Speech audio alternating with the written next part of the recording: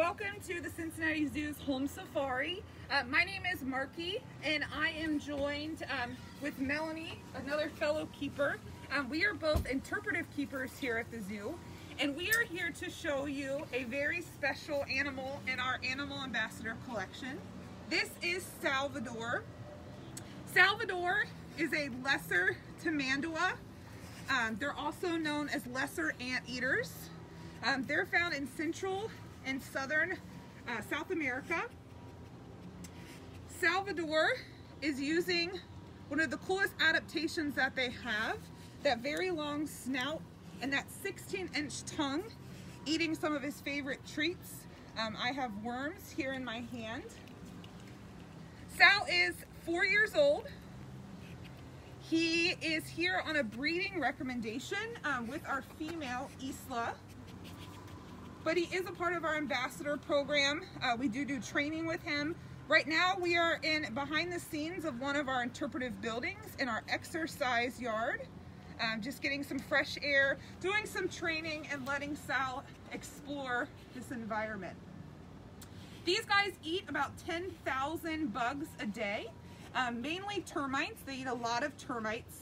If you can see on his front foot here, they have four toes but that middle toe, it has a very, very long claw, and they use that claw to tear open those termite mounds. They will also use those claws as a defense mechanism. There we go. Thank you, Mel or Melanie. They're very, very sharp. These guys will also walk on the sides of their feet as they're walking around so those claws don't dig into the pads of their feet. So if he starts walking around, hopefully he will, so you can see him climb, you're gonna see his front feet, they're always on the sides, and that's just to protect the pads of his feet um, from those claws. These guys are very arboreal. They spend a lot of time high up in the trees.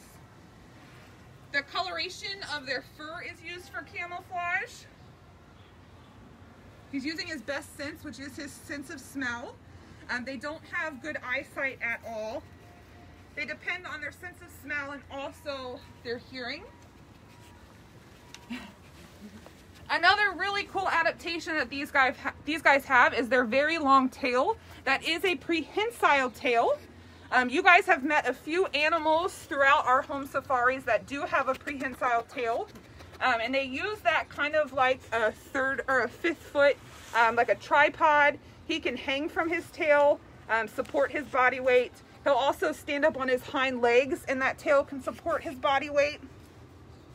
We have a few different um, enrichment devices out here in the yard for him to see if he can show you some of his really cool adaptations that he has. One being this very long tongue. Melanie has a clear tube there with some honey. Want it? He's starting to taste it a little bit, smell it, see what's in it. You don't want that? He's not interested. Oh. So thank you guys so much for joining all of our home safaris. We really appreciate all of your support um, during this time. And be sure at the end of this home safari, there is a quiz and it's all about tamanduas. Um, a few weeks ago, there was one with Isla, our female tamandua, and now we're showing you Sal. So there's lots um, of information that we've given you about tamanduas and we just want to test your knowledge. So be sure to check out that quiz after this home safari. And if you have any questions, please feel free to ask throughout this live video. Jackson wants to know, um, what does his nose feel like? what does his nose feel like? So it's actually pretty soft. Um, the very tip of it, it's very, very soft. Um, there's not a lot of fur on his nose because he's using that quite a bit when he's putting his nose in the tip of uh, his mouth into termite mounds. So these guys have really, really thick, coarse fur, and that helps so ants don't get onto his skin and also termites. So this is actually a really, really soft um, part of his snout there. And then the nose is really slimy. Um, their saliva is very, very sticky. And that's for when they stick that 16 inch tongue into a termite mound, it grabs onto the bugs and sucks them right into their mouth. Now, a really cool fact about these guys is their mouth is about the size of a pencil. So their mouth is very, very small. They don't have any teeth. So everything they eat goes straight into their belly and is broken down that way. We made him, see if he can make his way to one of the clear tubes we made out here. Yeah, you can just grab it if you like. Um, these guys love stinky things. So like apple cider vinegar is one of his favorite treats. We mix this with some tomato. Um, one of the other keepers in the department calls it the Tamandua ketchup, but it, he really, really loves it. That's just a little hole there. And if you can see, he's interested in the camera. But how they use that tongue and how they can stick it into various holes. into it.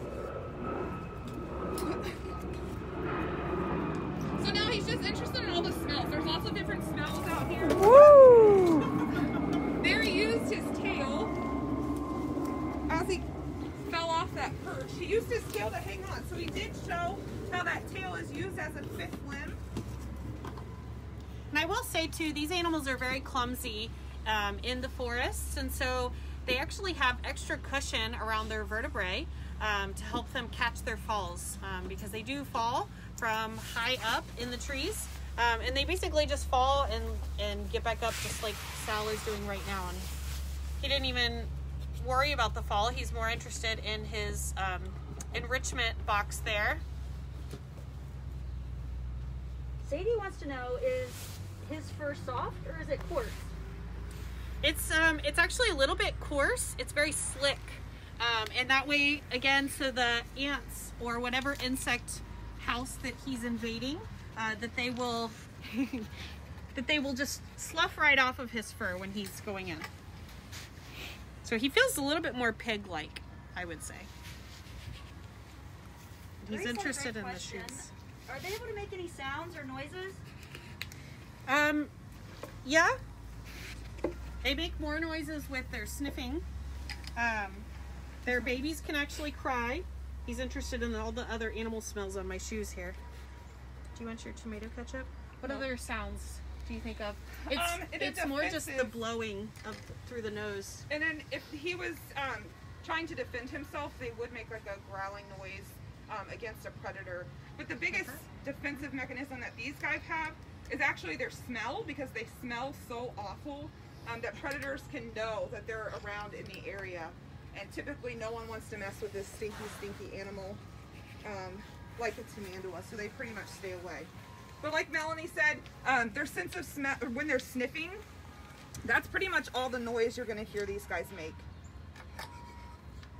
Ellie wants to know if they're endangered. Are they in danger? That's a really great question. They are not. Um, they are least concerned um, in Central and South America, um, so their numbers are actually doing pretty good. Andy wondered, what are their predators in the wild? So again, um, these guys don't have too many. Um, one would be a jaguar possibly, but these guys are so stinky that no one really wants to eat such a stinky animal like a tamandua. Um, so these guys don't have too many predators. Katie asked, what is his favorite food? His favorite food. Um, I would probably say his worms. Uh, again, these guys eat about 10,000 bugs a day. Um, so his worms are by far one of his favorites. There's lots and lots for him to explore out here and check out in this large yard. Um, being an ambassador department, we care for about 200 individual animals. And there's lots of different species of animals that actually come out in this yard uh, for exercise and also training. So he could be smelling um, one of our other animals or even any native scents that from animals that he's getting throughout uh, this enclosure. Madeline wanted to know, what is his favorite weather? His favorite weather would actually actually be hot and humid. Um, that would be one of their favorite his weather. Uh, what he would like to catch. So what you're what you're seeing right there, I just want to catch the moment. He's actually scent marking, so they have some glands on their rear end, just kind of like how skunks do or dogs. Um, and so he's just rubbing his scent all over the wall for the other animals to know that this is his area, or that maybe he's looking for a lady, perhaps Isla. Lauren asks, you have talked a lot about how bad he smells. What does he smell like? I can't even put it into It's, words. it's skunky. It's very putrid.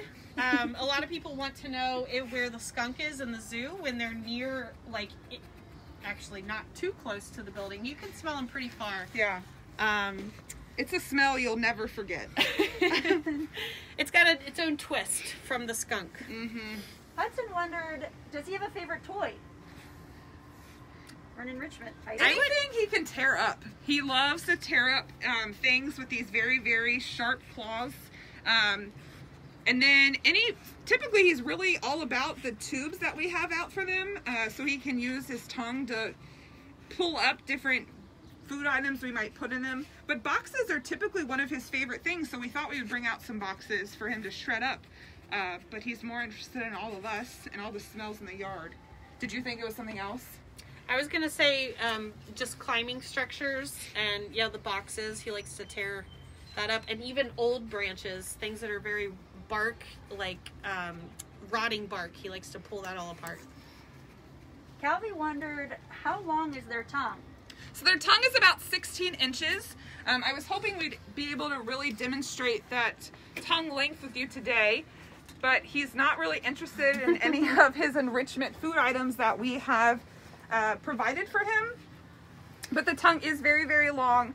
Again, it's very sticky, and there's barbs on the tongue which allow him to grab the insects and they can't get away when he sticks his tongue into an ant hill or a termite mound. These guys also, um, when they eat, they won't sit there and eat the whole termite mound at once. They'll eat a little bit at a time so they don't deplenish the whole population of the termite or the ant. So these guys are very intelligent in that source where they won't deplenish their whole food um, source where they typically go. They typically will stay in the same area too of an ant hill or a termite mound and just hit each one up at various times. Giovanni asked, do they live in family groups or alone?